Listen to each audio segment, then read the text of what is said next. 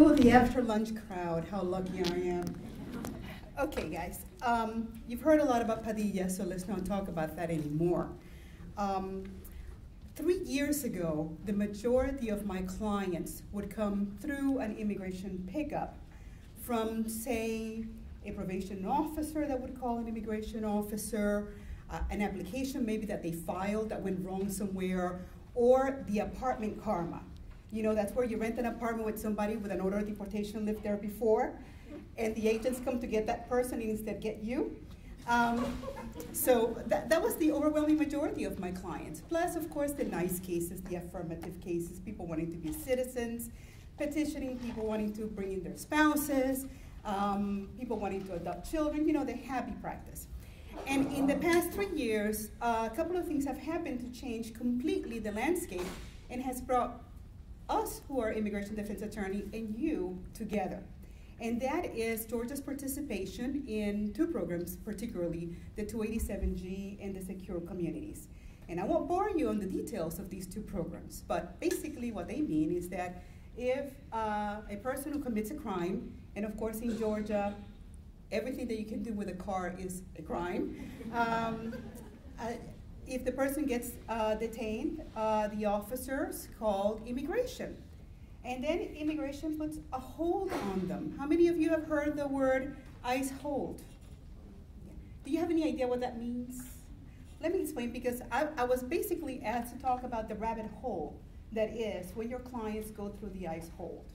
Uh, and you do not know what happens at the other end. And there is a life at the other end. Uh, sometimes um, irony is great, and the very best thing that could have happened to my client is that they, when they drove with, let's see, too much laundry in their back seat, and they got that ticket, and then they were ticketed also for driving without a license, and they get placed in deportation proceedings, and a year later they have a green card in their hand. That's a happy ending. Most of these cases are not like that, but occasionally 287G in secure communities is a blessing to a family. Most of the time it's a curse. Um, and so what happens is that uh, when they, they become your clients and they get a state bond, um, the family says to you, well, should I pay it? Or maybe they'll ask that from the bond people, or maybe they'll ask that from the police officer. Our clients uh, do not have the tradition of skepticism towards authority that we do, and so they will try to seek legal advice from the people who are prosecuting them. It's a big problem for us, right? Um, and a lot of times they'll get the answer, no, why pay the state bond? You're not coming out anyways. Immigration has a hold. And basically what a hold means is that at the point that the state releases you, either because you've paid the bond or because you're done with whatever the state had against you and if you had to serve sentence you did, then immigration has 48 hours to pick you up and detain you. And then immigration decides what, what to do with you. Um, the advice not to pay the state bond is generally bad advice, but not always. And the problem with immigration law is that there's always an exception. Uh, before paying a state bond, the individual's family should talk to an immigration attorney to see if it behooves the person to pay the bond. And I'll give you the, the, I guess the most common example. There is a relief from deportation called cancellation of removal. And that is for a person that's been in the United States 10 years and has US citizen children, if they can show X, Y, Z. And at the end of that road, if they can show all of that, they could end up with a green card in their hand with permanent resident status. However, they have to accrue 10 years before immigration serves them with what is called a notice to appear. That immigration paper saying you're in deportation proceedings. So if your client has been here nine years, 11 months, and 29 days, and the family pays the bond, and immigration serves them with a notice to appear at the ninth year, 11 months and 29 days, that person is not eligible for applying for that relief because they've not been in the United States for 10 years prior to immigration issuing this paper to them. In that case, the family will be very upset with you if your advice was pay the bond, pay it now. Because if they had held off on paying the bond a week, three weeks, maybe six months, I've had a case where my client sat in state court for eight months and we were not going to pay the bond, and we were not going to plead, we were going to drag it out, because at the end of that eight months, he would have 10 years in the United States. At the end of the eight months, he was, uh, he, we had a, they had a trial with a criminal trial.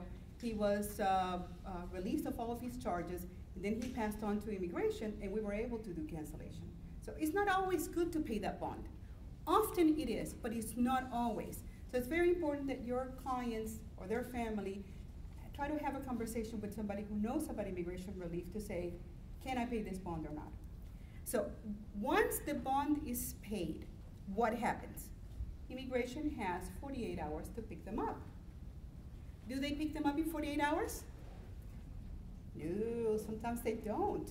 And so a lot of uh, attorneys call me and say, well, what should I do? Well, habeas corpus, that is the legal relief. But normally, the threatening of filing the habeas corpus, so just the filing of it, will normally get an immigration officer there quickly, and then your whole complaint will be moot, but at least your client will not be sitting in state.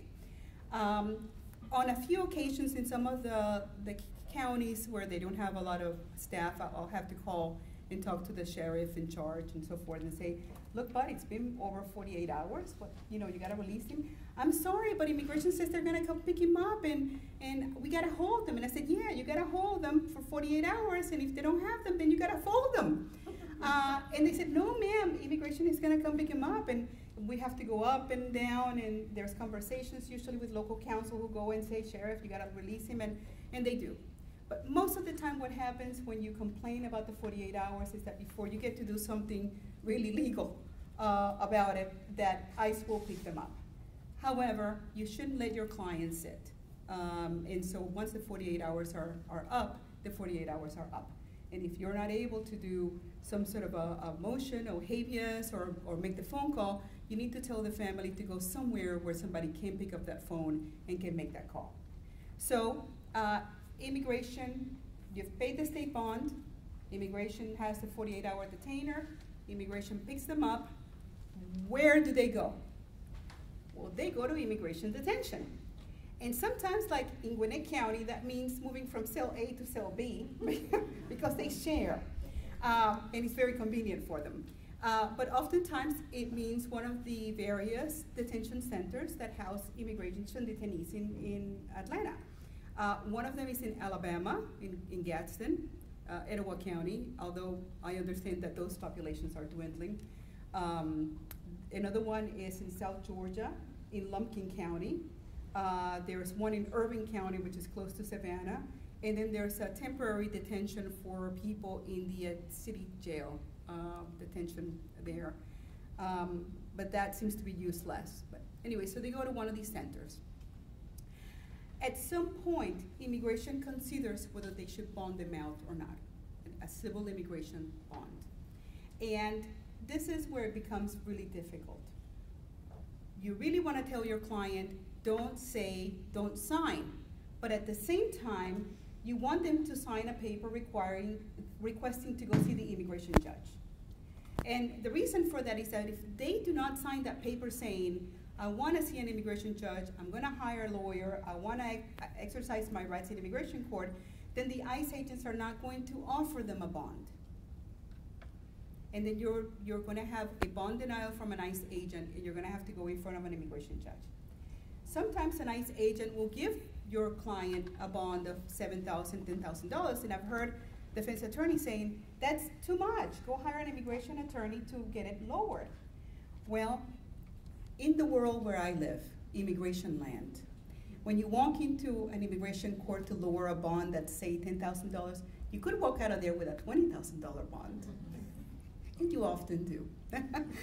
sometimes you say, oh, no, no, no, no, do not hire me, do not pay me. Pay that bond, get out, and then come and see me.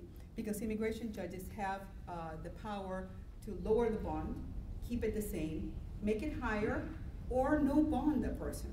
And by the way, in our lingo, no bond doesn't mean that you can leave without a bond. It means you're not coming out.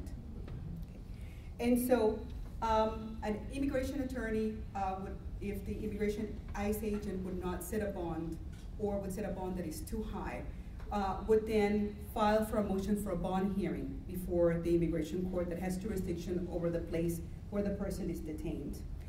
And that happens fairly quickly. And I'll talk to you about bonds and bond hearings in a moment. But I also want to tell you that they don't always get released when they get picked up by ICE. Some people cannot be released. And a couple of those people are people who are subject to mandatory detention. People, for example, who are here illegally and have an aggravated felony. People who are here legally and have an aggravated felony. They're subject to mandatory detention, which means that there is no bond for them and they must remain in detention um, throughout their deportation proceedings and any subsequent appeal. So if you've heard a lot of encouragement today as to why not uh, plead to an aggravated felony, yet here's another one. Don't subject your client to mandatory detention. Although mandatory detention is not the only reason that you, I mean, aggravated felony is not the only reason that your client will be subject to mandatory detention. Uh, people who have multiple crimes involving moral turpitude. Uh, people who have some drug crimes, violence crimes, would also be subject to mandatory detention. And if you want to read the list of people who are subject to mandatory detention, you can either go to the section 236 small c of the Immigration and Nationality Act or read through the, the documents that I sent to you uh, or that somebody sent to me that I that sent to you that I sent to them. I have a laundry list of people who are subject to my detention. Another group of people who are not going to be bonded out are people who are subjected to what is called FARO, Final Administrative Removal Order. And final administrative removal order applies to any non-permanent resident who has an aggravated felony. And basically, they don't even get to go before a judge, even if they scream that they want to go see a judge, with one exception, and that is asylum. People who ask for protection because of fear of persecution uh, seem to be an exception to many of the, step, the steps that, that we have in our process.